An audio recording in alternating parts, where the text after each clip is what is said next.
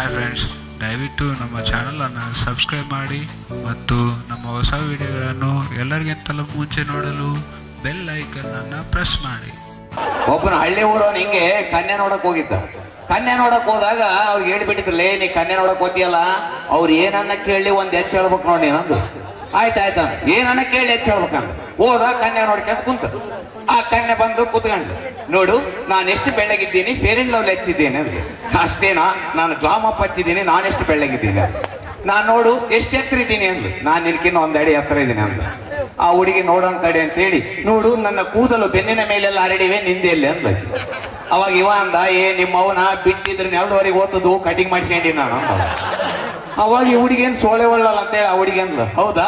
ನನಗೆ ಟಿವಿ ಇದೆ ಅಂದ್ "ಹ್ಮ್, ಅಷ್ಟೇನಾ? ನನಗೆ ಹೇಳ್ಸೈತೆ ಅಂದ ಒಂದ್ ಹೆಚ್ಚು ಹೋಗ್ಬೇಕಾಗಿತ್ತಲ್ಲ ಈಗ ನೋಡೋಣ. ಗೊಂಬೆ. ಬಳ್ಳಾರಿ ಗೊಂಬೆ.